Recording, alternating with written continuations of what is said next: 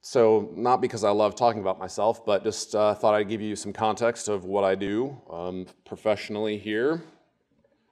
So, I consult full time. I've worked in libraries for the past uh, 15 or so years, and I started off as a circ clerk, and I've done YA stuff, reference stuff. I was a library director of a small library outside of Portland and worked for the public library in DC for a while and had the opportunity to work with a bunch of different libraries on a consulting basis.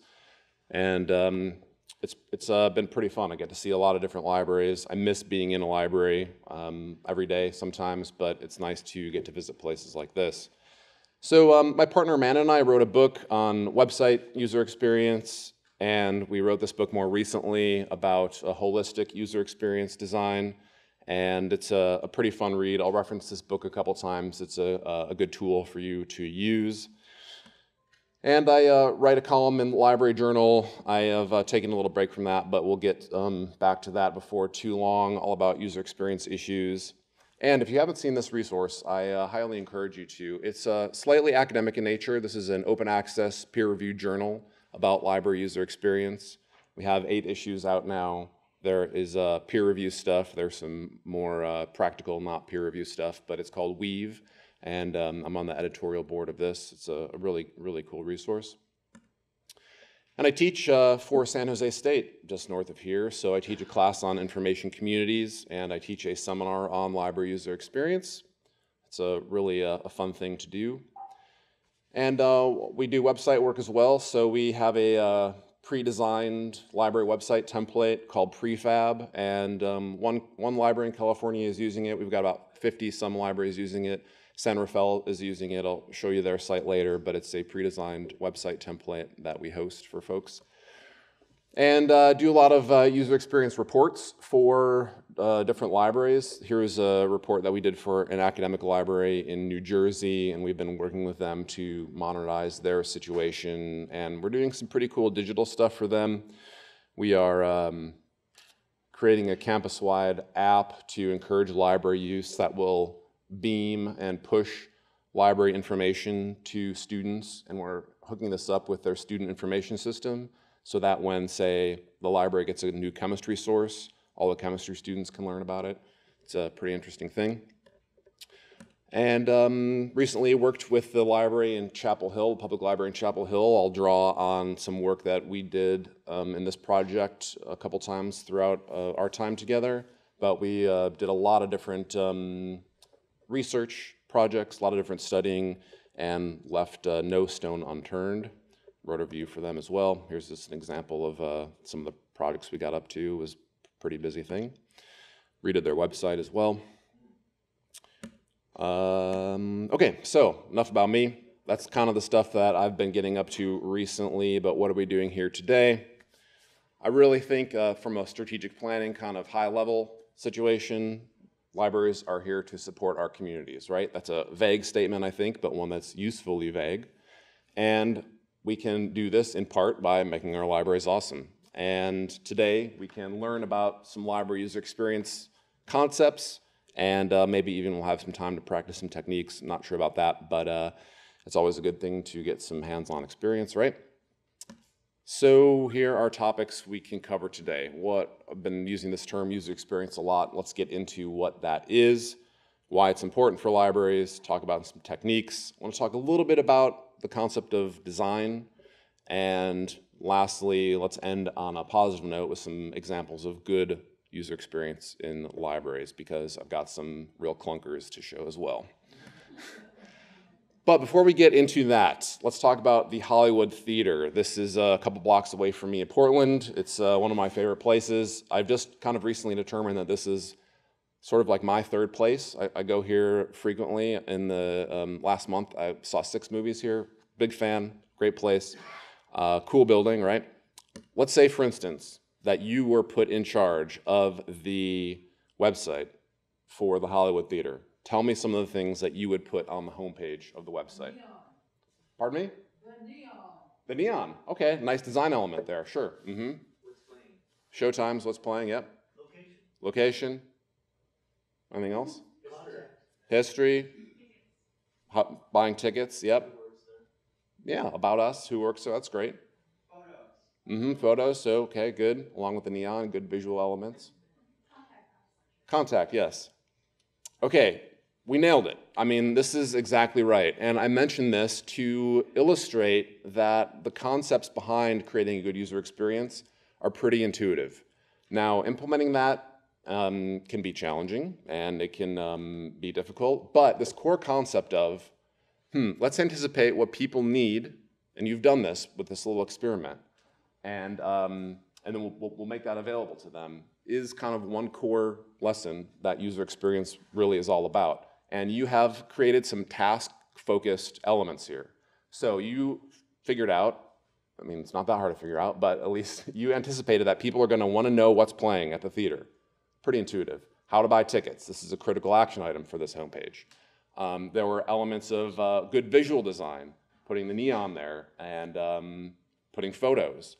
There was um, a comment about who was working at the theater, so creating a personal connection here as well. So we're seeing a well-rounded homepage here. Action items, um, making it desirable, making it pretty, um, anticipating the needs, and some history. Um, so this is, a, this is a, a, a way to show you that this is not rocket science, but the implementation of it can be more difficult. I don't know exactly what your, all of your roles are at the library, but you are helping create a user experience no matter what it is you do. Policy decisions, customer interactions, creating programs, creating flyers, all these things create a user experience. So no matter what your role is, you really do help um, inform the user experience at your library. So um, it's relevant to you, I think. All right, what is a user experience? Let's talk about this. It's not just for technology. We've talked about technology just a, a very little bit uh, so far. We've talked about other things, and um, there, there are buildings. Um, we have uh, we have buildings. We've got flyers. We've got customer service interactions. All those things are important for creating a user experience. And it's not just tech fixes. Boy, I sure wish that there was just some sort of tech widget that libraries could buy to create a good user experience, but it's not so simple. And importantly, it's not just customer service when I um, ask folks to talk about a good user experience that they've had recently, nine times out of 10, maybe, they mention a customer service interaction. And this makes sense to me because, you know, we're social creatures and we know that a customer service interaction can really make or break an experience. When a um, server is nice to you, that just um, puts the whole restaurant experience in a good light. And conversely, when you get rude service somewhere, maybe your food won't taste quite as good, right? Okay, so all these different touch points in a library that I mentioned, our buildings, our parking lots, our flyers, our posters, um, the way the library looks, the light, customer service, all these things add up to an amazing animation and uh, a, user, a user experience. So um, you can really consider all these things, and ideally, these things would all be in alignment to creating a good user experience. So here's, a, here's an example of that and one of the most striking examples that, that, I, um, that I've experienced. So I needed to fly from Chicago to Toronto. And I heard that this airline had an inexpensive flight. So I went to their website and noticed immediately that their website looked a little bit different than other airline websites, right? This is slightly more fun, a little more friendly. There is a cartoon raccoon on it, which was pretty cool. uh, searched for a flight, and indeed, I found an inexpensive flight to, to get to Toronto. And uh, booked the flight, got to the airport.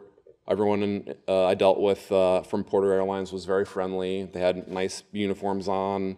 All their computers were really big, new, shiny Macs, which I just noticed and was a little bit different. Uh, the flight uh, boarded on time. The flight, the airplane was clean and new, which um, doesn't always happen, right? What else can I tell you about this? Um, their in-flight magazine is called the Journal of Porter Airlines, which maybe is taking themselves a little bit too seriously, but um, but I liked it. It was actually interesting, and it was uh, an appealing appealing thing to flip through. They served a beverage in an actual glass tumbler, and this is an e economy airline, um, so that was a, an interesting touch point for sure. The flight and plane did not crash. This was really important, probably the most important touch point in this whole experience, right? On the return flight at uh, Toronto City Airport, they have a whole gate situation there.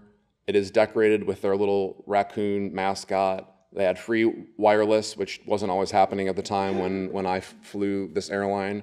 Their wireless network was called Mr. Porter, which is the name of their little raccoon. That maybe is the least important part of the, the journey and the uh, least important touch point. But uh, it illustrated to me that they had considered pretty much everything from clean plane, friendly customer service, inexpensive flight, cartoons. Um, they had thought about all this and they tried to entice users and um, give people good experiences so they would fly them again. So um, just a, a, quick example of um, something that I observed as a holistic good user experience from my perspective. Okay, so why do we care about this in libraries? And here is where I get to take libraries to task for a little while. And I want to talk about two different levels of user experience here, and I think they're both crucial, and they should work in tandem with each other. We're going to start at a small scale thing here, interaction design. And this is arranging things, physical things in our building, um, and we have a lot going on. So here are uh, 13 steps that uh, someone might go through to learn about a book from a library, place it on hold, and check it out uh, from the library. We see a lot of different types of touch points here.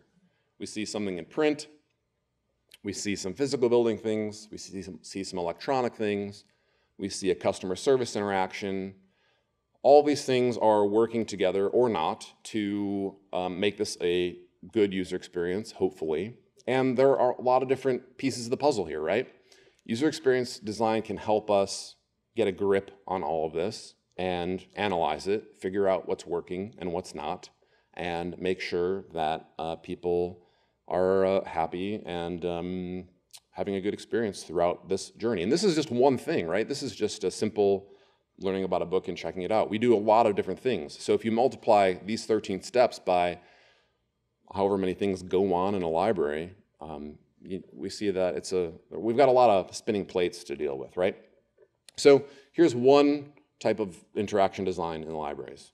We've moved beyond this, thankfully, but um, here is a design that someone came up with to prevent or to encourage a certain behavior, right? This was to uh, prevent people from removing books and to keep books safe. We're not doing this anymore, thankfully. Here's another form of interaction design in the past. Here are some old, some of the original library cards kind of a cool thing. Another form of interaction design that we've moved beyond mostly, the card catalog. Uh, we expected people to go like this. This was the best that we could come up with at the time. Thankfully, I think we moved beyond this, although, of course, there's always the nostalgia for this, right? Seems like kind of an interesting article, too talk about signage quite a bit. This is an important form of interaction design in libraries, and this is one of my uh, favorite examples. I've been using this example for, for a long, long time. It's, uh, it's really horrible, right? It's mean, it's ugly, it's grammatically questionable, um, and it's, and, it's and it's totally patronizing. Look in the bottom right-hand corner. Thank you, right? That's horrible. Um, someone was really angry when they made this sign. Uh, so I, I, do think that signage is a usually a symptom of bad signage is usually a symptom of uh, larger problems in a, in a space, and we'll talk about that more. Here, here are some other examples. This is like the lowest common denominator, the least amount of effort you could do. And is this really enticing people to sign up for summer reading programs? I doubt it. Here's a sign that is just saying something that's pretty commonsensical when you're speaking, someone can hear you. Also, we've got some accessibility issues on this sign with green and red. Those are uh, hard colors for people that see differently. And uh, Comic Sans, which we can make fun of. But to be fair, uh, to be fair, it's supposed to be actually a pretty legible uh, typeface, so there's that. Okay, here's an interesting story. I was working with some libraries in Florida, and um, this library, beautiful Art Deco building, around since the 20s or 30s. When you walked in the entrance of this building, this beautiful uh, space, you could see five of these signs just in the, in the in the entrance, and it was really cluttering up the space and also saying something kind of commonsensical. If the alarm goes off, get out of the darn building, right? The uh, piece of work I did with them essentially amounted to decluttering their library space, which was like a dream job. It was amazing, and it looked a lot better afterwards. Some more commonsensical signage. Don't post it on social media. Just get out of the building, please. Here we have uh, three labels and some clip art. Mysteries, mystery, mystery. Maybe not necessary. Um, so there, there's that. Here, there's probably a story behind this one, right? Very specific mandate here. Chips Ahoy, totally cool. Oreos, not so much. So, does this look familiar according to your library space? This was the result of a little bit of a signage audit and pulling down a number of signs in a library space. This adds a significant amount of visual clutter in a small space or a large space. Some of these signs have really good intentions. Signage can have different purposes, right? It can identify spaces, it can help instruct people, it can um, help regulate behavior, or at least try to regulate behavior. Some of these things are, uh, are meant to be really helpful, like pay, to, pay for print is here, and instructions how to use the printing. But no one reads these things, and they add a level of um, unpleasantness in a space. And um, I'm, I'm gathering more and more data about this. And I've just had my fourth example, and it's not a huge sample set, but fourth time I've worked with the library that we've pulled down 100% of the signage in the library. All the things hanging from the ceiling, all the things taped up, all the end cap displays, and basically nothing changes. And if anything changes, people ask fewer questions somehow. It's a really weird thing. Um, but it's a really, really interesting experiment, and it's a really great way to kind of reset a signage program in a library and then figure out how to be intentional and not put up ugly, mean signs. Um, so there's that. What about this sign? I know, right? So bad. Okay, I made this one up. But it's not because I hate babies, all right? I don't hate babies, but babies can be loud and annoying. Let's be honest, right? They can be cute, but they can be loud and annoying. So can people on cell phones. Cell phones users can be loud and annoying, but people do so much more on their devices than yak away and be loud. But so many no cell phone signs in libraries uh, all over the place. And when we put up those signs, I think we're regulating a technology when if we're trying, if we should be regulating anything, it should be behavior, loud and annoying behavior, right?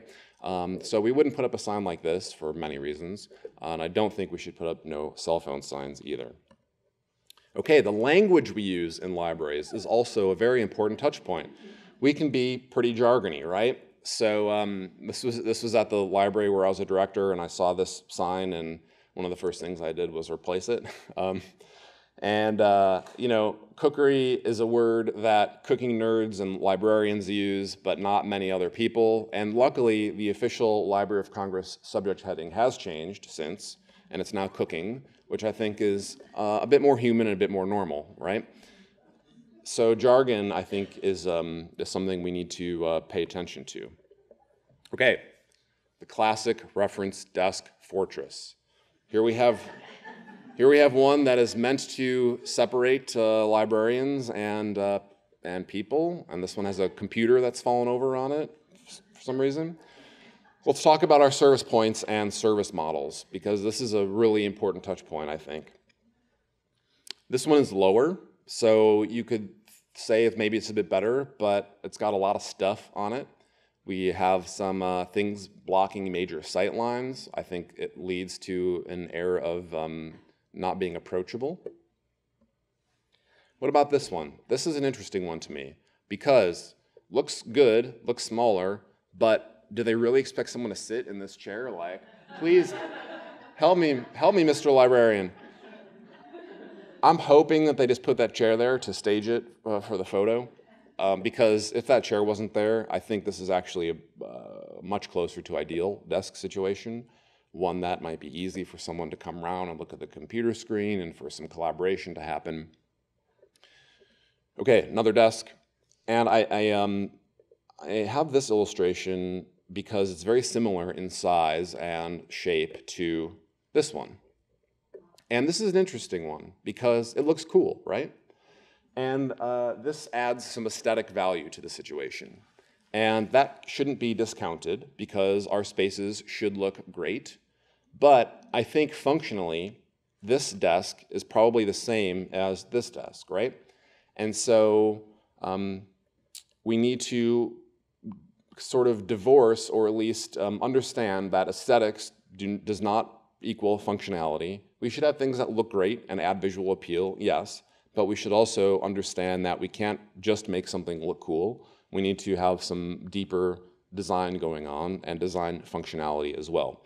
So I call this design washing, and we need to be careful of this. And uh, we see examples of that um, quite a bit.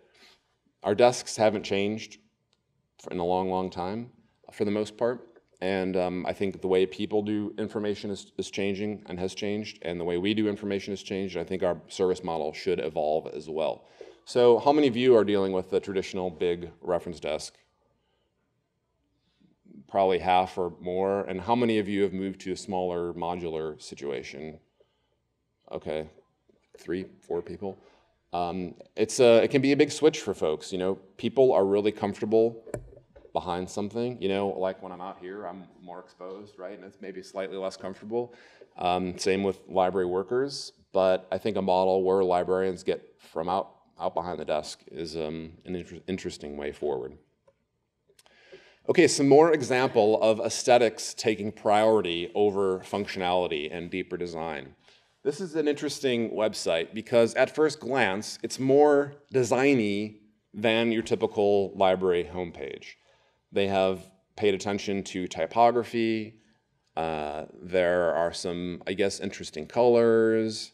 There is a, you know, um, designed logo. But if you spend any time with this site or homepage, you see some pretty serious usability and functionality problems. Um, you know, like the, the menu, I won't go into a full dissection of this, but the menu on the left-hand side is not standard. Standard navigation is more horizontal in nature. All those things on the left are links, but they all look different. And I think the most important, most important thing to note is this homepage is literally library centered. Look at all the screen real estate just taking up the library logo, which gives pretty much zero functionality to that important real estate. There's a search box on the homepage, which is uh, necessary and a good step, a uh, step in the right direction.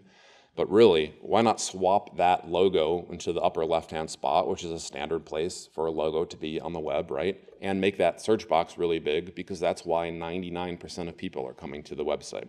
So just because something looks nicer doesn't mean it's uh, necessarily creating a good user experience. It might be contributing aesthetic value, but that's not enough. I think this happens at the post office too. I find the post office super perplexing. There are so many different options, and I'm like, ooh, I don't know what to do. And also, the promise of this, you know, pretty nice design looking package doesn't always live up to the reality. So we need to be mindful of that as well. Rules in libraries, another important form of interaction design. So this one, Magic School Bus is totally cool, but everything else, not as much. Here is a uh, website. We, uh, we helped this library redesign their page. It looks super ancient, um, much older than it, than it should have. And um, certainly our websites are an important form of interaction design, interaction design. Many people going to them all the time, every day.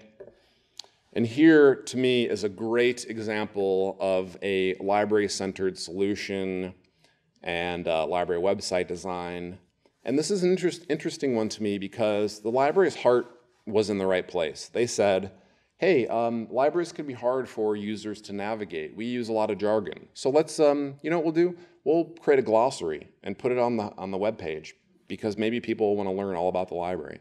And I mean, how many people do you think are viewing the libraryese glossary on this, uh, on this homepage, right? This is, a, this is another library-centered solution, trying to turn users into miniature librarians. And again, I don't, I don't want to give them too hard of a time because they're trying to be helpful here, but going about it, in my mind, the wrong way. Instead, why not just start using words that everyone else uses? Um, it's, it's probably a good way forward. So another website example here. Here we have one from an academic library. And this is an interesting one to me because they have sort of done no design work. And again, their intention is good here. They said to the, themselves, we have a lot of good resources in the library. Students need to see this stuff. Let's put it all out there. And so they've exposed so many different choices but in the process, they have de emphasized anything that is most important, right? So that is sort of the design work that they have missed out on. And they have had an opportunity here to better anticipate the needs of their users and make that stuff more prevalent and more obvious so people could find that stuff faster. I have um, sort of a the opposite version of this in um, later examples of a library, an academic library that have, has made some, some good choices and really narrowed it down for library users. Okay, our catalogs. Certainly an important touch point. Here I've done a search for John Steinbeck. I get no results. What's up with that? Pretty poor, right? And this is a tough one because out of pretty much many, many different things we're going to talk about today, we have sort of least control over our OPAC interfaces, don't we? And this is a this puts us in a tough spot because it's such an important touch point. So what's the answer to that? Well, I mean, I think there are a few. Um, they're sort of technical in nature, but I think we should pay a lot of attention to our catalogs. All right, staplers. Um, I guess a very minor, important, uh, minorly important touch point, but um, I want to talk about the stapler because um, this is sort of uh, a stapler caused me to be interested in creating good interactions in libraries. So I was working a reference desk in a library outside of Chicago, and multiple times a day, every day, someone would ask me for the stapler we kept behind the desk. I'd get it from the drawer, I'd give it to them, and they'd use it, and then I'd you know have a small interaction with them, put it back, and finally I said to myself one day, why are we even bothering to put this stapler away? Not that I mind getting it, not that it's not a good thing to have a small, short 30 second interaction with someone and, you know, be friendly and chat people up and maybe get a reference question out of it. Um, but it would probably be easier for everyone if we just put the stapler out, someone could use it, and it would be more convenient. And uh, we did that, and stapler didn't get stolen. And even if it got stolen, stolen every six months, what's the big deal? It's seven bucks. It's cost of doing business, um, and that's that. So this was a this was a small thing for me, but it sort of triggered something in me, and I became interested in, in thinking about these issues of making libraries as easy and pleasant to use as possible. Okay, let's talk about some bigger picture UX stuff next. Okay, so purpose. What is it that we're doing here in libraries? We have helped um, support our communities through being a place of access to information, whether it's printed books, whether it's these databases that no one knows the name of or barely use, right, unfortunately. Uh, we have solved, uh, we, we have helped solve the problem of information scarcity in our communities. And this is how we have largely interpreted our mission. But what's the problem with the problem of information scarcity? Information isn't scarce in, this, in the same way, right? So I think we are largely set up to solve this problem, and uh, it's not as much of a problem or it's not the same problem anymore. And that, to me, is a little bit of a red flag. Now, we do do more in libraries than just provide access to content. We provide some social exper experiences too, and we add value to the community in many different ways. Classic example of this is story time, right? This is not just about um, content, it's about gathering around content and adding value in this way. And I think that's important and I think that's good. However, we're really, really known for being the place with books, right? And OCLC every few years asks people, hey, what is it that you think of when you think of uh, the library? And people increasingly say books. OCLC thinks this is a strategic advantage and that we have a strong brand of books and we should uh, play that up. Now, tinfoil hat me says maybe OCLC has a vested interest in keeping libraries in the book business.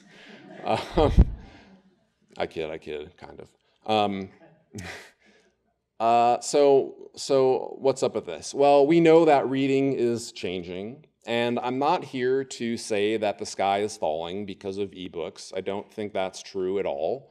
But we should recognize that being a place of access to content is a little bit shifting sands right now. So, really interesting confluence of interaction design issues and this digital content issue is found in this webcomic. And this guy tried to download a, an audiobook from Cleveland Public Library, and he got so mad that he wrote a comic about it. and if you've ever done frontline staff or tried to use uh, frontline staff work for um, digital books or ever done it yourself, you'll recognize a lot of these things, like step eight, get cryptic error. Um, not cool, especially when step 19, give up on stupid library, right? uh, not the kind of experience we want to be promoting in our spaces. Now, to be fair, I think our digital interfaces uh, from these vendors have gotten better in the past couple years, for sure. Um, so that's good. But I still think they can be difficult to use and um, not as easy as other digital content products out there that aren't library related.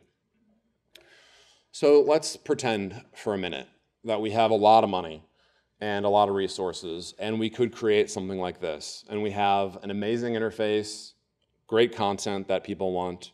Should we double down on being a place of access to content and focus on creating something like this? Or like this? I mean, should this be the, should this be the library homepage? But let's be honest, it would probably end up looking more like this. Because we just can't help ourselves. um, you know, I'm hesitant to I'm hesitant to get excited about being a place, just a place of access to content. Because I think if we do that, we are sort of letting our competition define us in a certain way. And many content needs are being met outside of the library, and I think that can be okay. I'm not saying I'm not saying we should get rid of content in libraries. I don't think that's the case. But we've got some pretty major players in, in the digital content realm, don't we? And libraries, especially when we collectivize, can be extremely powerful, but we don't have the budget of these folks. And um, I think that kind of puts us at a strategic disadvantage if we are trying to just be a place of content. And I don't think we're um, necessarily doing that, and that's good. It also reinforces what Joan Frye Williams has called the grocery store model of librarianship, where someone comes into the library, gets an item, and goes home and uses it there. This is a very transactional approach, and I think it is one that does not capture the richness of what's happening in our libraries and the fact that we can really transform people's lives. So instead of a grocery store model, there's a kitchen model of librarianship where stuff is getting made, there's collaboration happening, and that to me is a much more appealing picture.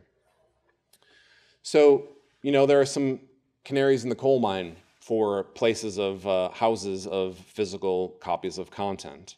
And again, I'm not trying to say the sky is falling because of digital content. I don't believe that. But we do see places that housed physical content um, no, that are no longer with us, and something to think about. I also think that the way we communicate the story of our libraries to stakeholders is unsustainable in the long run. We know that there is only one good kind of circ stat, and that's one that is higher than the month before, right? If your circ stats are on the decline, that's bad news. If the circ stats are flatlining, it's also not great news.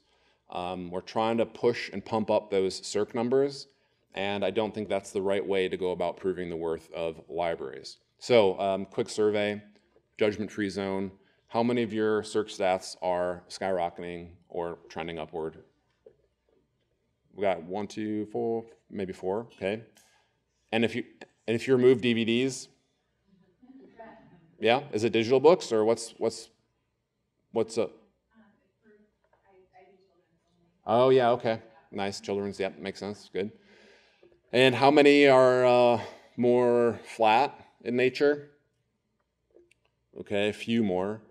So that by process of elimination means the majority of you should be raising your hand if you're participating in this quick survey that your circ stats are on the decline. Okay, I see more nods of agreement. Like I said, judgment-free zone. It's cool. I think it's totally typical. This is uh, this is a pretty much the response that I get across across the country asking libraries this question. So, what are we to do? What's up with that? Um, you know, here's one sort of potential solution for trying to pump up circ stats and making circulation more uh, convenient. And I think this is a cool project. I think it's convenient for people to be able to pick up or return books throughout the community, not just at a library, physical library space. But what's the problem with this library? It's not a library, okay, yeah. There are no staff, there are no people, right? There are some people behind the scenes making this happen, right? But there are no humans to interact with. And I think a library space plus humans is probably our biggest strategic advantage. So I wouldn't want us to get boiled down into Redbox like kiosks in our communities. The UK has had some library funding problems for uh, a long time now, and we see some public libraries retreating back into cafes and pubs. And hey, I'm all for books in those spaces or library services in those spaces, great. But maybe from more of a library outreach perspective rather than like retreating back into these spaces. And they have done their best to um, try to combat this with some real showcase buildings in their communities, and some of those are more effective than others. Um, there's a really interesting new space called the Storyhouse, which you can uh, look up. They have um, acting and I think movies and uh, a collection there. So, um, can we innovate our way out of this problem with uh, circulation and circ stats in libraries? Well, I think we can, but I think that innovation in libraries has been uh, a little bit weak in the past 10 years or so. I think we're looking to see what's happening out there in the larger tech space and like hoping that if we use these tools, it will make the library relevant. And to me, that's a very weak form of innovation. It's actually, to me, just using tools that are available to us. And we should do that. I'm not up here being a Luddite at all. Um, but I think we can go deeper with our innovation rather than just hoping that some new product on the web will be our uh, savior. So instead of focusing on people's motivations for using all this stuff online, we're more focused on the tools. But I think UX uh, user experience design um, would have us go deeper and look at people's motivations and listen to people. So instead of being seduced by uh, a cool tool, a measuring cup isn't necessarily all that cool, right? Let's focus on the end result. And um, this to me is uh, a little bit more appealing we can find some more natural fits, I think, for this. So, as part of doing this UX work, we need to, in a certain way, distance ourselves from our library users. And we need to realize that we are different from the people that we're trying to serve.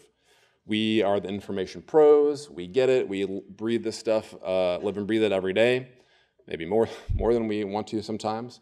Um, but our libraries should be designed for them, not us. So when we realize that people are different than uh, normal people are different from librarians, we can learn more about them and learn what makes them tick and design spaces and services to better meet their needs. So here we have uh, the Holy Trinity, useful, usable, and desirable. These things are not mutually inclusive. Something can be very useful without being usable. For instance, maybe the library catalog, right? Uh, user experience design would have us create stuff that is in the middle of this Venn diagram. We can consider all of these aspects of a product or service or new program to see where it falls and make sure that it is uh, somewhere near the middle. Now, I think that we should consider emotional design as part of this process. And here are um, some examples of emotional design and some interesting things, I think, in this, in this area. This neuroscientist tells a story in this book of a guy who had a, a brain tumor, and he uh, got the brain tumor removed. And as part of the process, the doctors removed this guy's, not on purpose, part of his brain where he um, where, where emotion was located. And this guy lost the ability to emote at all. He wasn't happy. He wasn't sad. He was just pretty neutral. And an unexpected consequence of this is the guy poor guy, had basically no ability also to make choices. So he couldn't even decide what color pen he wanted to use to write something, let alone anything higher level than this. So there's this link that scientists have found between emotion and choice. And I want all of our communities to be enthusiastic choosers of our libraries. And I think we can do this in part by not playing on people's emotions, but considering the impact, subconscious impact most likely, of the way we're designing things uh, on them. You know, we have the story that we tell ourselves that we're these highly rational creatures and we have this calculus in our head for making decisions and we weigh the pros and we weigh, weigh, the cons and make this best decision and go forward, right? I mean, it turns out that story is kind of not true, and it's a story we tell ourselves to bring some sort of order to our lives, um, but choices happen in a, in a different way. And as part of this emotional design, I don't think we should focus on shouting at people and trying to message to people to use the library. I think there's a conversation that's been happening actually probably as, as long as I've been in the in the library game that says, hey, we have all these cool things going on at the library. If we can just let people know about it, then they'll come to the library. And I'm not here to say we shouldn't be advertising because clearly I think that's part of it, but I don't think we can really shout loud enough to convince people to use the library.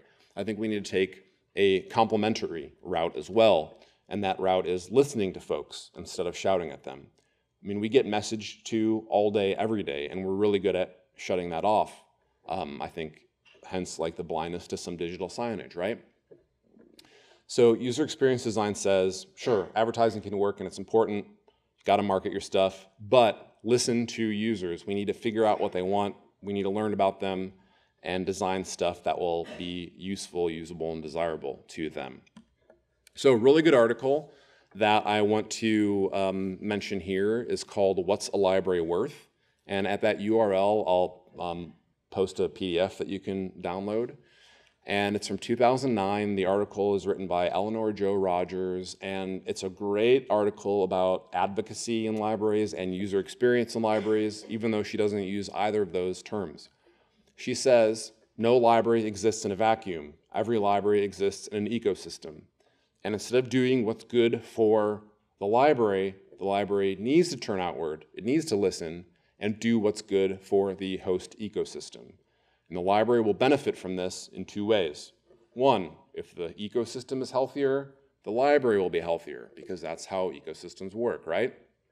What's more, if the library is seen as a positive contributor to this ecosystem, stakeholders and funders are going to pump more money into the library because it's doing a good job benefiting the host ecosystem. So there's both this kind of direct support and rising tides benefit. I hope you check out this article. It's a, it's a really good one, and I think it's a nice example of the power of um, turning outward and thinking about your community, whether it's your town, university, corporation, whatever. Okay, I want to talk about who should be doing this UX work and talk about some techniques, but I've been uh, up here flapping for about an hour now and want to make sure everyone's blood is flowing. So let's have a quick break. Let's just do five minutes. I still have a lot of stuff to get through. So let's meet back here in five minutes. Get yourself a sip of coffee and we'll continue. Thanks. I want to talk about who should be doing this work in libraries. And probably won't be surprised to learn that I think everyone should be doing this work. However, I think it's also useful for there to be some point people in charge of this or contributing a lot to this. Now, in some academic libraries, they have gotten excited about doing UX work and hired a user experience librarian, and maybe the institution was not quite ready for this position. And that is a really tough place for an individual to be in because part of doing UX work is being critical. Now, you don't need to be a jerk about it, right? And you shouldn't be a jerk about it. There can be all sorts of good ways to do criticism. But it can be really hard for one person to, say, be in charge of changing a user experience in a library because, well, there's issues of territoriality, sensitivity, stuff like that, right? So, especially at the outset when libraries are getting into UX work, I'm a really big fan of assembling cross departmental user experience teams to do this work. It can help diffuse some of those issues of territoriality. It can give the group a nice breadth of knowledge throughout the whole library if you've got people from different departments. And it's a great way for this group to have a good understanding of what's going on, spread the word back out, and hopefully make some positive changes. So, um, are any of you uh, solo UX librarians in your institution? Couple, yeah. Mm-hmm. Um, I feel for you. No, I'm just joking. Um, obviously, some some places are ready for this organ- organizationally, and that's great. And of course, there's a huge spectrum of libraries that aren't ready and libraries that are totally ready, and that's probably more typical. But um, getting partners to beat this drum and help spread the word about UX is a really um, good way to proceed. So, what are some good introductory techniques for people to experiment with in libraries? One of my favorite favorites to get started is called a service safari. And this is a great way for to, to, to do an inclusive user experience activity uh, with an entire library. So in a service safari, people go out, they leave the library. This is actually not about libraries at all. This is about sharpening your critical and analytical skills and learning how to dissect and rec recognize experiences. So you go outside of the library and you go to a cafe, you go to a museum, you go to a um, park, you go to take a taxi ride, whatever, and you start to consider all the different elements of that experience. And when you do this, and your colleagues do this, you can come back together and you can have a discussion about what you observed, what worked, what didn't work. And the idea here, again, is not necessarily to go out into the world to, say, borrow ideas and implement them in the library. Now, if you happen to come across something that would work really well in your building, great, go for it. But the emphasis here is to get people accustomed to talking about their experiences and to develop a vocabulary of discussing experiences. Because when you do this outside the library, you don't have all of um, your history with the library, and you don't need to worry about any sensitivities necessarily. You can do this in a totally fresh, relatable way, get together, have conversations about this, and then eventually turn this conversation towards the library. So I have a small background document for doing service safaris and a uh, four or five page Service Safari worksheet that you can download at that URL, which I'll share again at the end of the slides. And the worksheet is meant to guide your observations out there doing a service safari.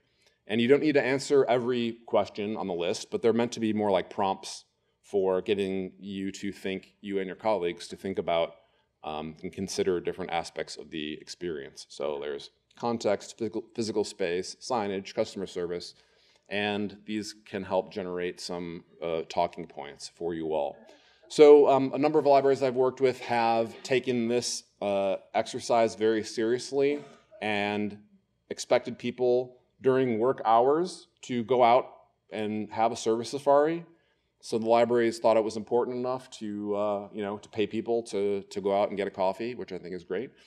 Uh, and this was a way to signal to them, hey, we're, we are really um, wanting to pay attention to experiences in libraries. We think it's important. Go out and do this. We're all going to talk about it afterwards and get better at describing experiences. So UX audit is a, an interesting first thing for a UX team to do. And you know, I really should change this to UX review since audit has some negative connotations, doesn't it? Um, and uh, UX review is a nice way to take stock of your current experiences, and it's a nice way to know where you are and to identify opportunities for moving forward. So the book that we wrote, Useful, Usable, and Desirable, is essentially a guide to doing a user experience review. In the book, we list a number of different checkpoints and give information about why this checkpoint is important, how to assess it, if you're scoring lower than you want to be scoring, how to improve this different checkpoint.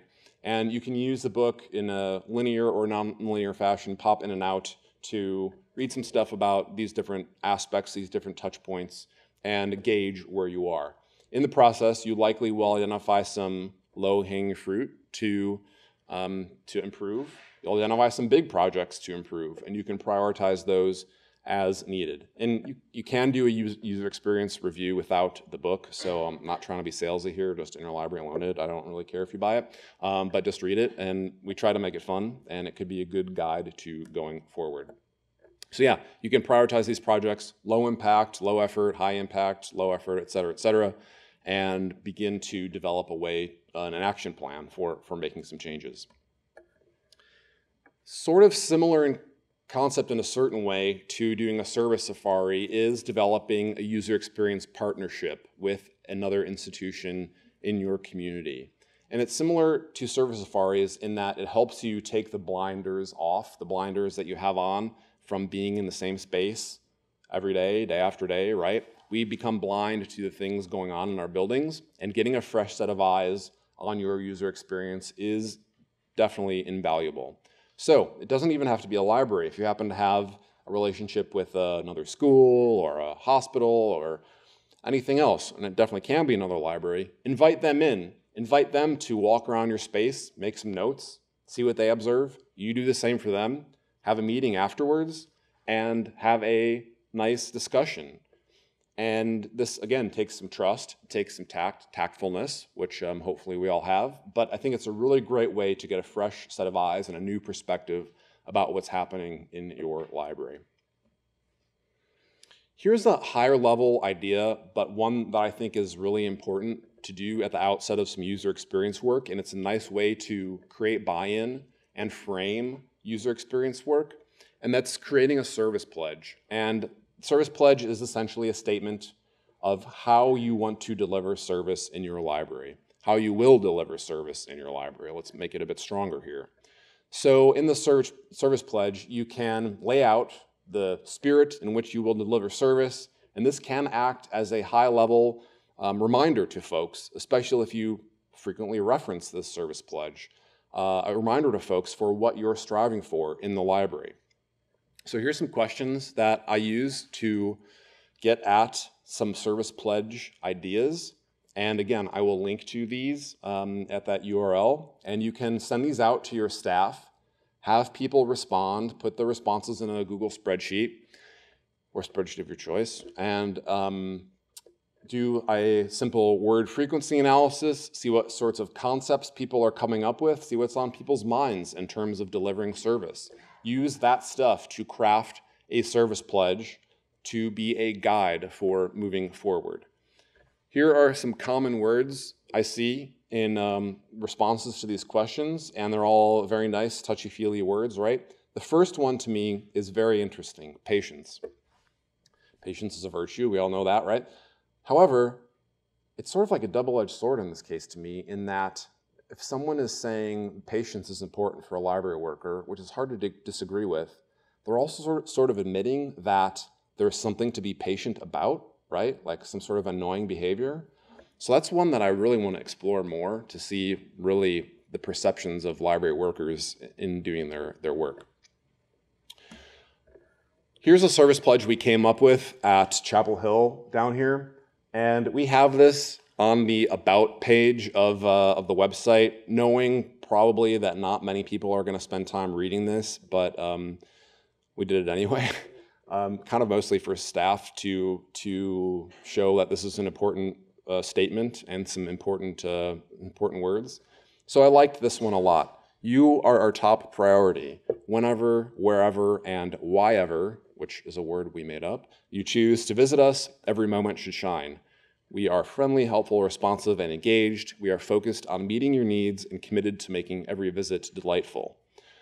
I like this statement because it's a strong statement. It's not saying some of the earlier iterations, and oftentimes I see, we strive to provide good service, blah, blah, blah. Well, you know, let's be a bit more um, strong about it. You're not going to strive, you're going to do it. This is the deal.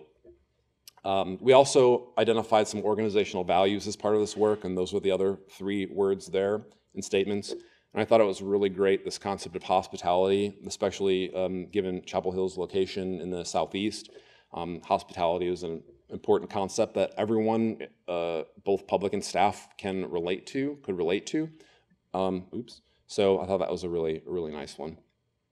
So consider sending out survey questions like this, working with it to um, rally everyone and to get input from everyone about what sort of service um, you want to provide or will provide. Similarly, you can create a user experience vision. You can create a story, create a video. You, this can take uh, many different forms. And plant the flag out in the future and say, this is what it's like to use the library. So this can take the form of a first person narrative, made up story. Um, an exercise I've done with folks before is um, called Design the Box, where you give library staff a cardboard box and ask them to design what the library would look like if it came in a box, and to get people thinking creatively about what it is like in an ideal state to use the library. And putting that out there in the future, again, can align everyone, can hopefully create some buy-in, and help you evaluate choices that, you, want that you're gonna make. Is it gonna get you closer to this idealized future, or is it taking you in a different direction? Okay, let's get into some user research ideas here, because um, it's a really big part of doing user experience work. And here is a simple thing that you can do. You can, maybe some of you have done this. Have you kept track of every time you have to tell someone no at the service desk, at service points? This can be an illuminating exercise not that you have to say yes to everything people are coming to the library for, because that's just impossible, but it can give you a picture of what people want and what you're not providing. I highly recommend combining this with every time you have to send someone to a different service point when they have a need. So if you're going to say yes, but you need to send them to a different place, that's a very um, important thing to know because oftentimes, depending on the library space, people can bounce around two different service points. It could be on a different floor. Uh, and this is maybe not a very convenient uh, thing for people, and uh, an, an, inconvenient experience probably isn't a good one. So I'll uh, put this PDF, PDF up as well, just as a sample no log and redirect log if you are interested in keeping track of um, what people are coming for that you can't provide and when you are bouncing people around to different desks. Not that every library task necessarily has to 100% happen at every service point, but I think getting close to that is probably um, a nice thing. So are any of you experimenting with consolidating service points and cross-training staff to make that happen? See a couple nods. A little bit, yep, a little bit. Okay, cool. It can be a challenge for sure. Um, and again, there are issues, unfortunately, I guess, of territorial, territory, I mean, you know what I'm trying to say. Um, because, you know, circ staff might say, well, reference staff aren't trained on yada, yada, yada, and whatever. Um, staffing things can change, cross-training can happen. Okay, so another technique and a user research-ish technique is journey mapping. Um, journey mapping is writing out all the steps it takes to accomplish a certain task in the library. And what I showed earlier, I don't have that um, screenshot again. But what I showed at the beginning of the presentation, those 13 steps about checking a book out, um, it was a form of journey map. You can also put it into a spreadsheet. So here is a journey map for card registration in the library. You can see we have this both from behaviors and actions from the staff perspective and patron perspective. We see pain points highlighted in red, things that are inconvenient or otherwise not good and we see the goal highlighted in green. So the idea here is to move these pieces around, figure out a process for, in this case, registering someone for a card that eliminates steps, eliminates pain points, and gets people to that end goal as quickly as possible. So this is a nice way to um, prototype different solutions. This is a paper prototyping solution, or, or in this case, I guess, screen prototyping, but you know what I'm saying. You don't have to design a whole process and implement it right away. You can come up with different options, play around, and um, see which one the best one is.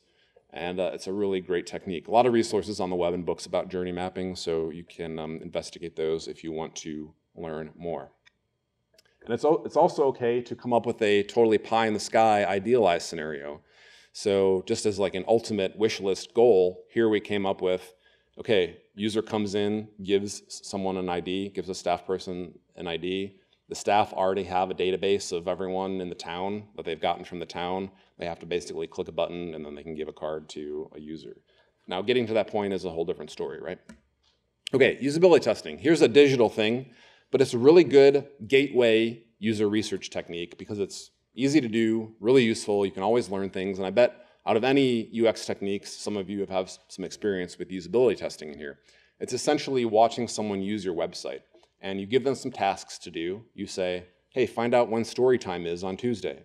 And you watch them go through the site and try to find that information.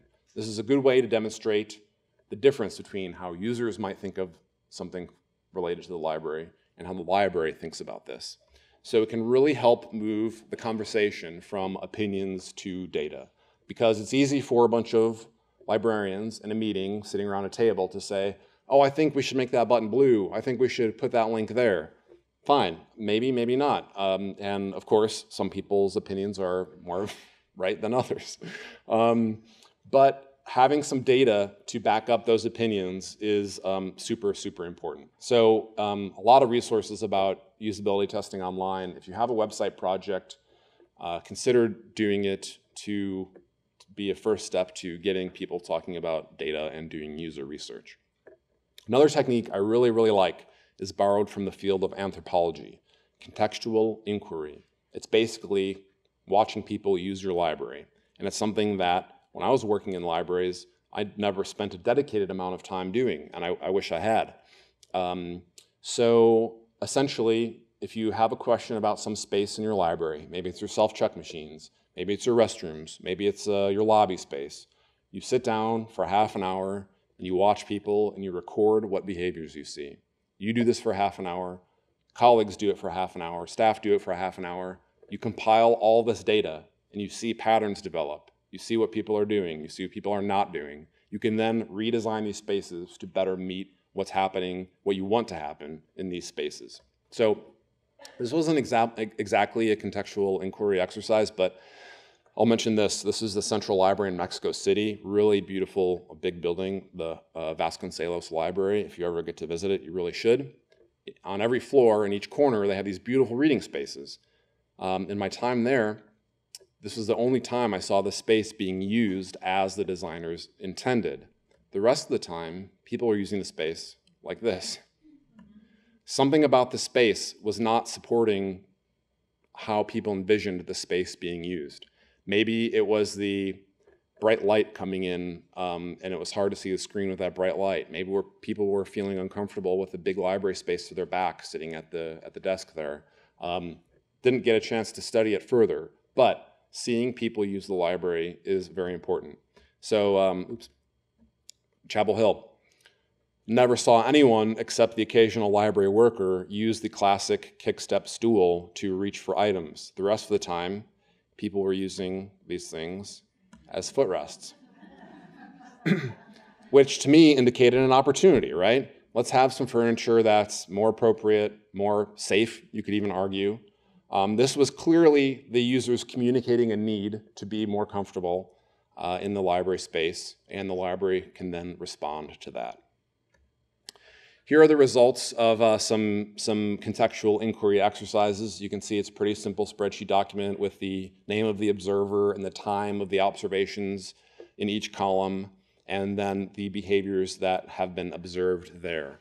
So it can be difficult to not get into the analytical mode right away, but as best you can, just record the behaviors judgment free and then go back with folks and discuss what you have seen. So to complement these real-time contextual inquiry exercises, something that we've been doing more of is taking time-lapse videos of library spaces. And I'm, i um, mentioned this earlier, I think.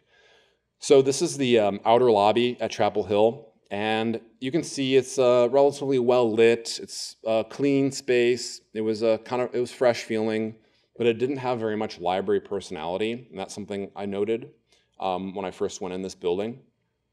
And we observed people using the space both in real time and took time-lapse videos over uh, a number of days and were able to condense a day's worth of behavior down into like a three-minute video to see what people were doing. And we learned, this is really interesting, this is new to all everyone at the library, that some people's entire library experience was just in this outer lobby. There's a lot more library than just this space, but some people would come in, sit with their laptop, tutor some folks, study, and then leave. And that was um, really informative and interesting because the library knew then that they could design the space to better support what people naturally felt like they wanted to do in this space. Similar with the inner lobby. So if you go down this hallway to the left, you see this kind of morass of signage and uh, posters. This is the before picture. And you can see that this space was not functioning as needed. The book drop, they were trying to highlight the book drop because people could not see it. So I have this painter's tape here like, I'm going to give you all these distractions, and then we're really going to try to.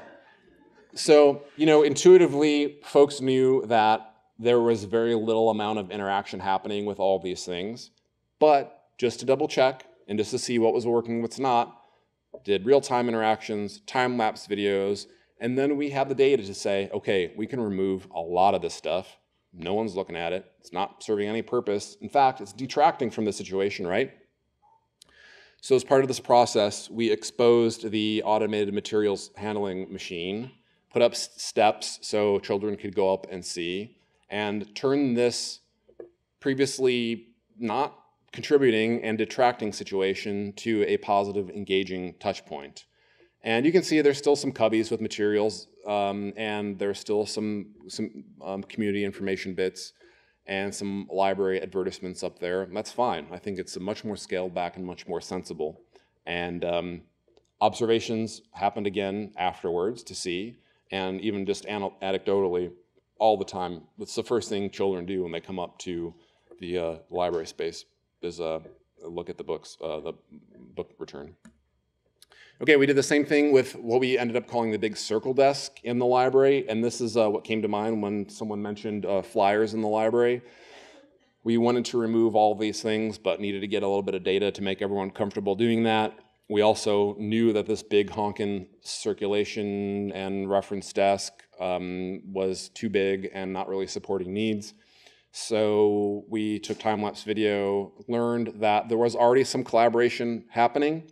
Saw people come behind the desk, which we thought was a really good thing, and a step in the right direction. And seeing how people behaved and how staff behaved in this space gave us enough data to say, okay, we're gonna do an experiment we're going to take a chainsaw to that circle desk, break it up, and you can see there are small, in this space, there are now some small service pods. And they're much more approachable, um, spread throughout the library more so people can get help in different places. And we've changed the way people talk about service in the library from, hey, I'm going to work at the desk, to I'm going to go help some people, I'm going to go out on the floor. And that is a, um, was a big win for sure. Something else to note um, some prototypes going on here. You can see these uh, pieces of signage on the end caps. So instead of, oh, you can also see some uh, colors up here, which is part of the library's branding scheme and the identificational uh, program we came up with. All these soffits were white before, and we added some visual interest to reinforce library branding and um, uh, created identif identificational signage up there. But before committing to getting a, print, a printer to create maybe semi-expensive signs for the end caps, just printed out things in paper and um, saw what happened. So um, are people looking at these kind of nice graphic treatments? Are they helping people get to what they need? And uh, eventually we determined yes, and so then we moved forward with uh, getting those printed. Now the library has since moved on from having these service points, and um, we have uh, uh what's called the uh, Welcome Hub, uh, they're doing something called the Welcome Hub. I don't have an, an image of that now. It's just getting assembled, um, I think, as, as we're speaking. But it's a one centralized, smaller space that has a planter, has benches, it have, has a spot for collaboration, and it should be a really a, a neat thing for the space there. This is uh, Chapel Hill Public Library. Yeah. Mm -hmm. Susan Brown there is great. She has got a really good perspective on um, customer service. She uh, has a great presentation about customer service lessons from Trader Joe's, and uh, she and her staff do a really, really good job. Um, great anecdote from her. She went to, uh, she's a big fan of Trader Joe's, and um, she went to uh, her local Trader Joe's and said, hey, um, can you, would you be interested in coming to the library and talking about your customer service training? Because um, you guys do a really good job, and we'd like to get some of that going on in our library. And she reports that the manager there said, oh, um, we don't do customer service training actually. We uh, take care of all that through hiring. And we hire people that we like and then just train them on what they need to know. And we go about it that way, which I thought was smart and pretty cool. So even the hiring process impacts user experience for sure, right? Okay, so another physical building idea is to set someone in front of the library and have them go do some library tasks. So this is like physical building user experience, uh, usability testing. So you can say, okay, um, go do, uh, go make a photocopy, please, and see what they do. See where they get tripped up. See if they can find the photocopier. Uh, one academic library I worked with put some GoPro cameras on their students and had them walk around and record their library use, and that was a pretty informative uh, uh, video afterwards. Really good tool. If you have any accurate uh, floor maps, or even if you don't, um, you can create something like this. This is a nice way to piece together what's happening in libraries. Something else that I like to have folks do is hourly sweeps of what's going on in different library spaces. So recording, coming up with a little shorthand and saying, okay, in the reading room, we have four people reading books quietly, we have two people working together, we have someone on their laptops, whatever to get a picture of the sorts of activities that are happening in your library because then you can then know, okay, well maybe we should have some more spaces for X and Y because it's happening a lot and we, and we don't have very many spaces for that. Um, or you might learn, boy, no one is ever coming to this space to do these things. What is it about this space that is um, people aren't visiting? And this is a good way to gather some user uh, data. Okay, so a quote attributed to Henry Ford he didn't actually say it, but it's a good quote, so um, it's worth mentioning anyway. He is uh, alleged to have said, If I would have asked people what they wanted, they would have said, I want a faster horse. And the idea here is that he sort of came up with the idea for the automobile and went forward with that, whereas people weren't coming up with the concept of the car by themselves or on their own. And this is why I am hesitant to recommend people ask folks, hey, what do you want out of the library? Now, again, I understand the intention there is, hey, we do want to be responsive. We want to learn about what people want. But people have a preconceived notion of the library, right? They might not be able to think as big as we need them to uh, to answer this question. So I think it's an important question to ask. I think it's data to gather. I think it's a good PR um, uh, exercise for the library to indicate, to show people that you care about what they want.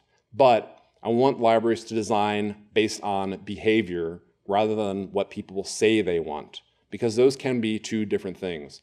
And we see examples of that um, throughout market research a lot, like um, the whole Pepsi Challenge debacle was a result of that. Coke invented New Coke because of the Pepsi Challenge. But it turns out that that really wasn't the right question to be asking. So they did this whole new Coke thing back in the 80s. That was a flop, right? Remember that? Um, because they thought people were saying one thing when they were really saying another thing. Um, so this is why we should listen to folks, but we should not necessarily always follow their lead. We need different sorts of data. We need we need data about what they're be, uh, reporting that they want, but we need data about how they actually behave as well. And so this is why I'm a little bit lukewarm on surveys in general. I think it's a fine tool to use. It's definitely one that librarians have the most experience with in terms of user research, but I think we need to take the results with a grain of salt. Because it's really easy for someone on a survey to say, oh yeah, I want the library to open at 5 a.m. and close at 2 a.m., right? Is anyone actually going to come to the library at 2 a.m.? Maybe, maybe not, depending on the situation. So um, verifying opinions and reporter behavior with actual behavior is, uh, is the ticket in my mind. So one way we, you can get a good mix of that is by doing user interviews. If you've done a reference interview, you have uh, essentially, you have the tools to do a user interview. It's having an open-ended conversation with folks about their lives, seeing where the conversation goes, and um, learning about their lives so you can learn more about your community. And oftentimes, the results from user interviews can be um, put into personas, which I've uh, heard mentioned a couple times here today already. Here are some example persona documents. So these were the result of conversations with half dozen to 10 folks of different audience demographics for this library in, uh, for a medium-sized library in Idaho. And from these conversations, we created fictional representations of actual library users that are meant to represent the needs we heard about. So to make this human and to make this relatable, we gave these people fake names, fake pictures. We have stories about them. We have basic uh, demographic information about them. We have some quotes. We have stuff about what their life needs are, maybe a little bit about what their library needs are. But again, this is focused on users, not libraries.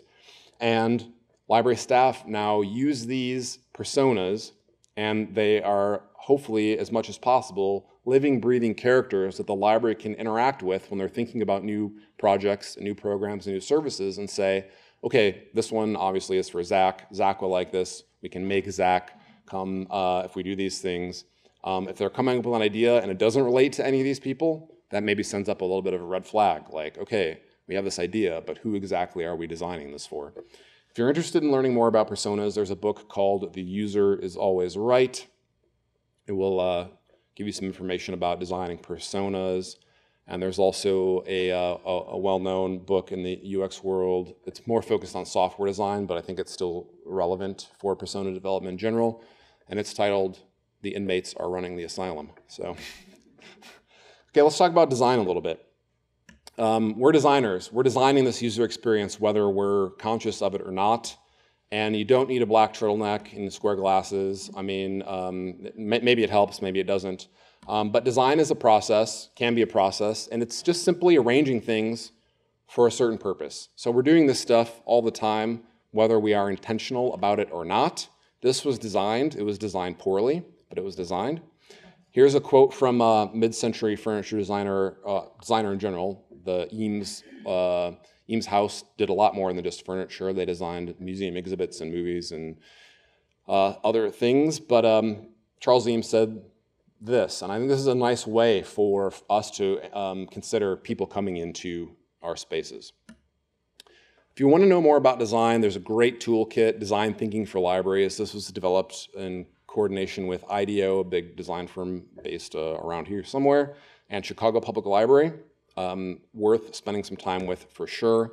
But the basic ideas, uh, they come in different flavors, but the basic idea about uh, the design methodology is understanding what problem you're trying to solve, observing behavior around this problem, prototyping solutions, evaluating something, uh, all these potential solutions, and then finally implementing something. So some of this should seem familiar already with what we've been talking about. Um, looking at people, coming up with ideas, don't implement them full scale right away, try it out, see what happens, learn from it, and do it again. So a great example of this uh, was uh, someone asking the question, why do these, why does this vegetable peeler hurt my hands? It doesn't have to be this way. This is a question that they're asking and they're trying to solve. And um, this was the results from this basic question. And I bet many of us have this in our drawers or have, ha have had it at some point. This company does a lot of user research to design their stuff. And they prototyped different solutions, working with biologists, human factors people. Um, so it wasn't a straight line from you know this to this. They tried different things out. A great user experience vision is uh, this video from the uh, uh, smoke alarm company Nest. You know, they make the thermostats and smoke detectors. Check out their product video for their smoke detector on YouTube. Um, it is a great example of how they have looked at human behavior and aim to design their product to augment and work with what people actually do.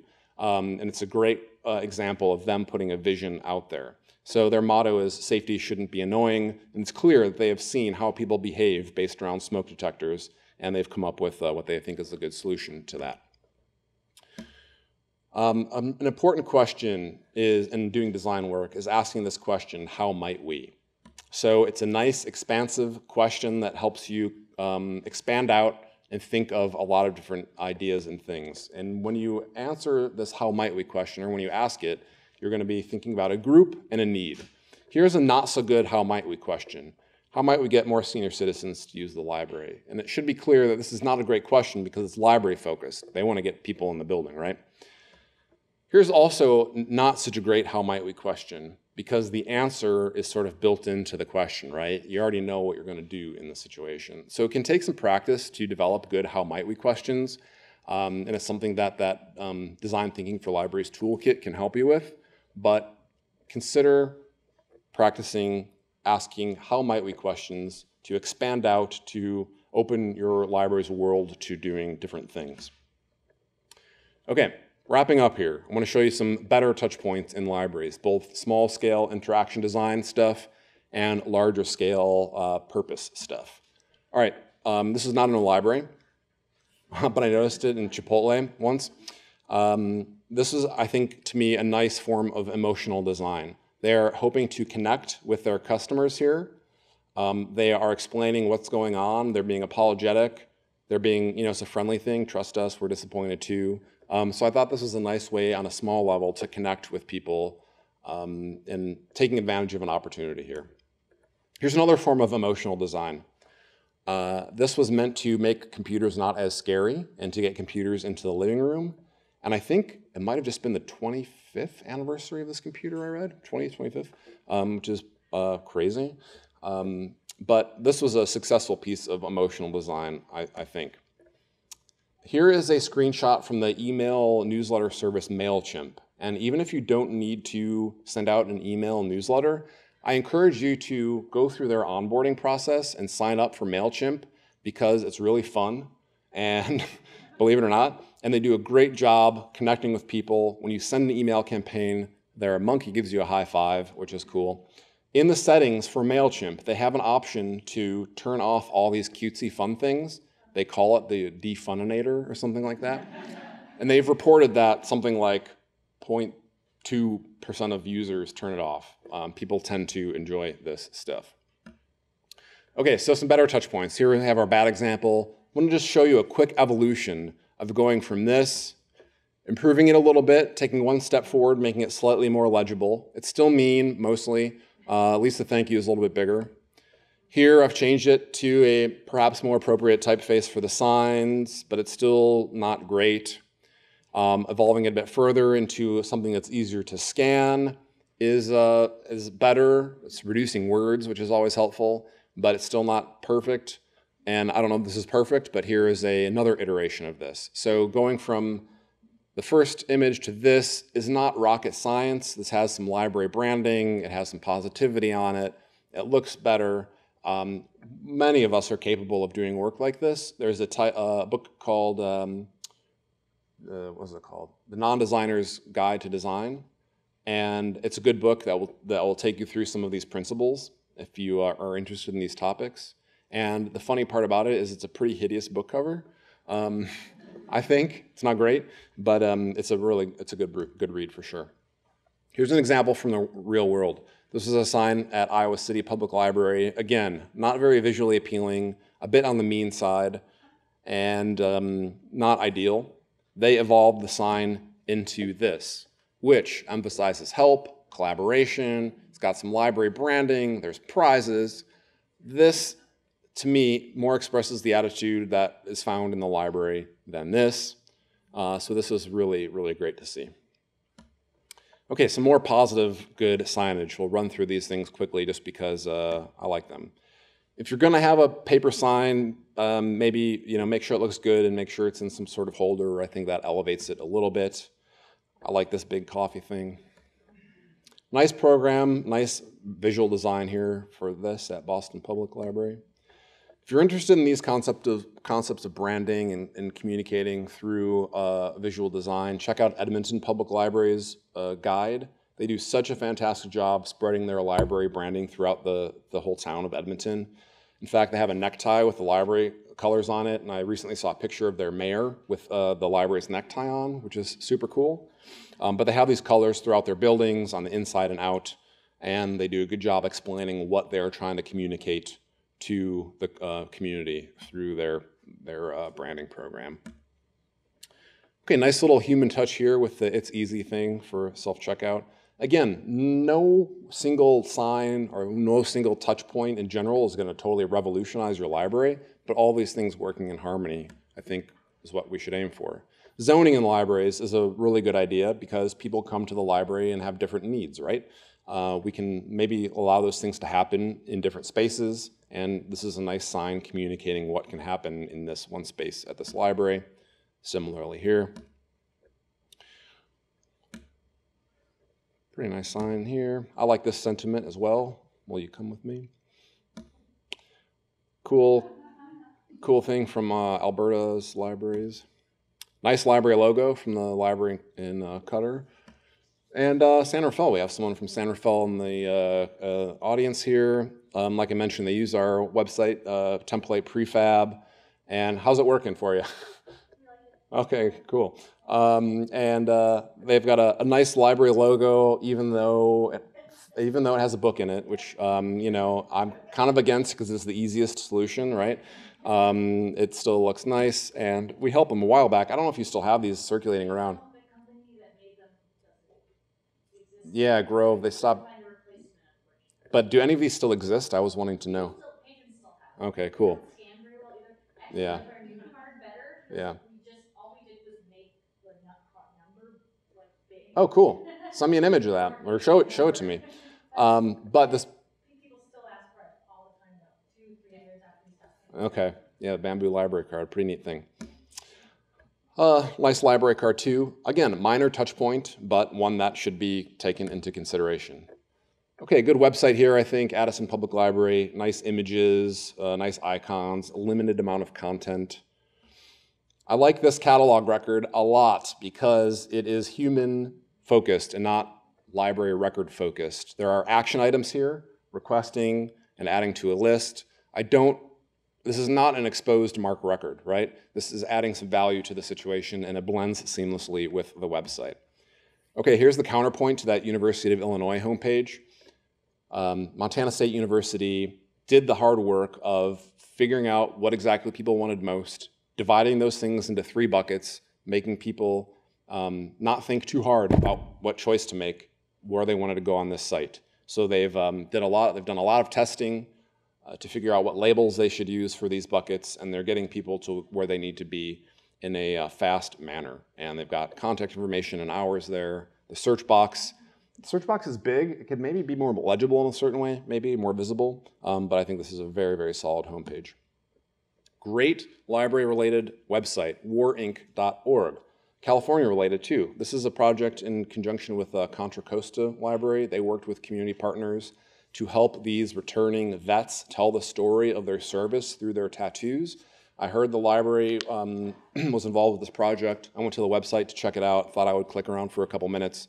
I was like captivated for uh, 20 minutes listening to these folks. Compelling design, cool way to de develop some original content uh, and to, to add value in, in this way. Okay, some service points.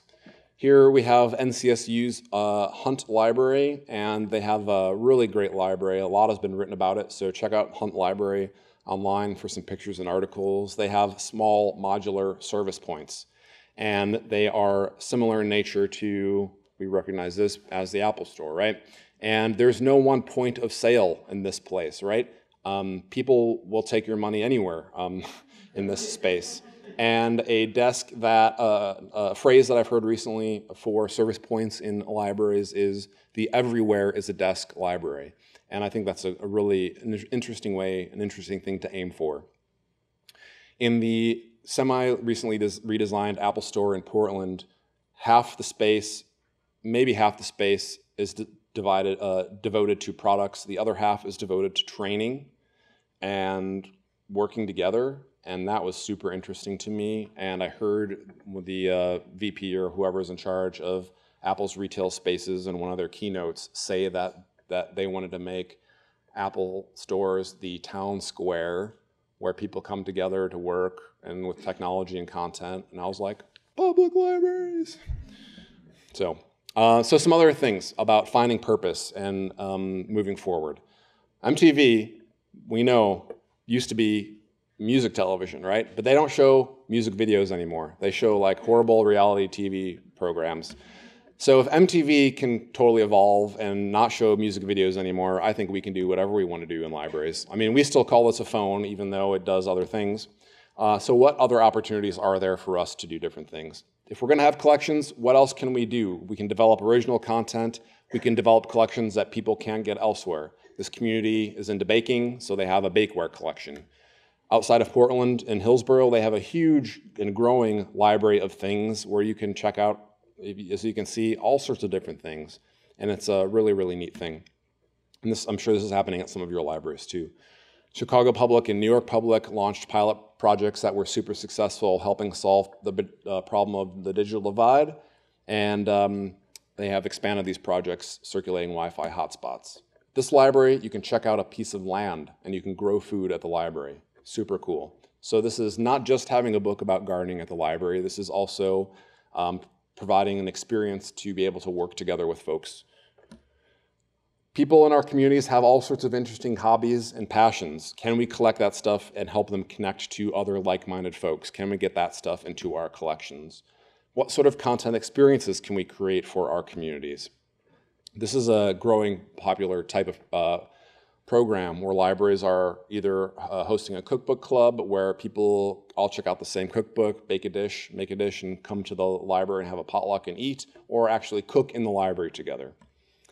Literary Lots, Cleveland Public Library worked with folks to develop underutilized spaces in the town to recreate children's storybooks. So you could walk through Little Red Riding Hood, for instance, a way to add value to the story experience.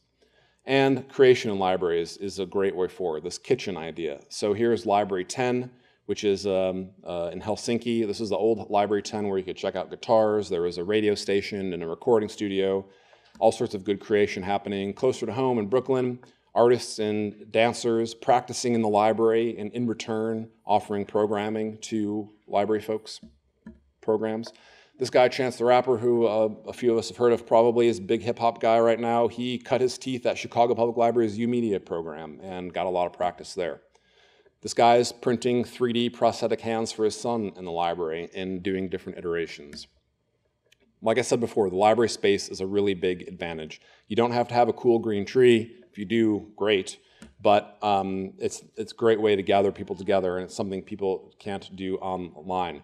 Here we have Oak Park Public Library outside of Chicago's Idea Box, where they have a flexible space. They change it up and learn from what happens. Here we have in the middle of the Chicago winter, which you all know nothing about. Um, uh, they, ha they have developed this sunny park-like space.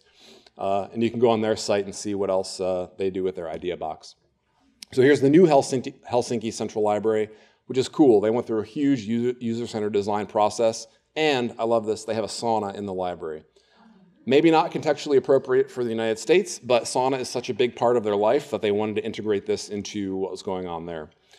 Uh, similarly, kind of, the new Aarhus Library in Denmark has a big, big bell and whenever someone is born in the hospital in town, the parents have the option to hit a button and a bell rings in the library. Super cool. Um, we can get outside of the library as well. And here we have a pop-up library program and laundromats. So free laundry uh, day and learning happening in the library. This is uh, Libraries Without Borders, really neat. Getting outside of the library, circulating digital things in airports.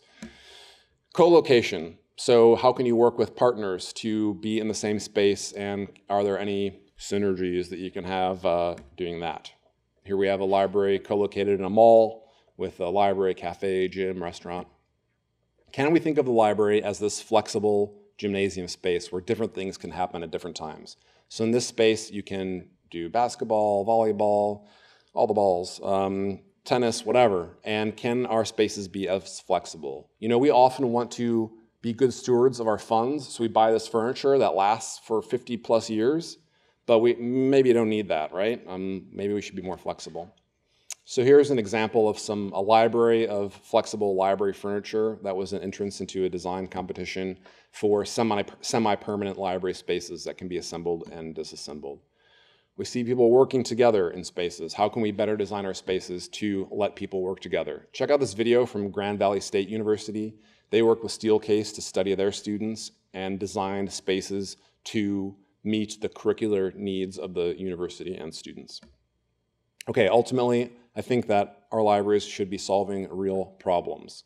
And this is a, such a good way forward to learn about our communities and make them better places. So the homepage cafe Free Library of Philadelphia worked with this group that is uh, getting people experiencing homelessness on their feet. They uh, employed people working in this cafe, and instead of having this classic urban library situation that oftentimes is confrontational, they in essence invited people into the library on a deeper level to um, make the situation better. And um, here, uh, San Francisco has done a lot with this. Uh, social workers uh, in library spaces providing service at points of need, library nurses in Arizona. Love this, love this example. You can pick up good food, good healthful food in the library as part of this Baltimarket program. So this is helping solve the problem of food deserts in Baltimore. Order groceries online, pick them up in the library. Here's co-location, Vancouver Public Library and the YWCA, low-income single mothers li living at the library with their kids. Wow, amazing. Here's an example of radical um, user-centered design. This library, they call it the Garage Library, opened outside of Malmo, Sweden, and it was essentially an empty warehouse. They worked with community groups to figure out what this space should be. There's a lot of programs, um, it's based around conversation. There's a um, cafe. There's a small collection. Pretty radical, cool thing. We really should become community experts. We need to learn a lot about our communities. I think we need to have community information development plans, uh, just like a collection development plan. so again, this turning outward, I think is uh, super important. Um, hope you'll read the article, What's a Library Worth? And we need to get off the hamster wheel of circ stats. Uh, this is keeping us busy. It's kind of busy work and um, promoting new standards of success and learning how to tell the library story in a deeper way is super important. This UX stuff is not new in libraries. Here we have a quote from 1903 from a librarian from Hennepin County, Gratia Alta Countryman. She's a really big inspiration, I think. This is a great um, statement about being hospitable, being gracious, taking down restrictions, making connections, I think it's really lovely. She also has a, they also tried game rooms um, uh, at the time. She talks about trying uh, having a smoking room in the library, which in Oregon and California and Washington could take its own kind of thing now. Um, maybe we don't want to go there, but uh, you know, never know. So uh, in wrapping up, I want to uh, leave us with this, which is our international symbol from uh, of libraries, which was created in, in the 80s, mid 80s. I think it's an iconic, great symbol, but to me, it's a little bit not descriptive of what we do because it's someone just reading all alone, right? So here's my revision, which includes some more action, some more diversity, gathering people together based around content. I'm not suggesting we need to replace our symbol with this, but to me, this is just more descriptive of what we do and what we're aiming for. So again, I hope you'll take your role as user experience librarians seriously um, and uh, design some great experiences for folks. And I'm like two minutes over now, but I can stick around for questions should you have them. You can email me at librarian at gmail.com if you have any other questions or comments. And I will uh, go back to the first slide with the URL in case you want to download the slides or any other things I have referenced today. Thank you very much for your time. I appreciate it. Thanks.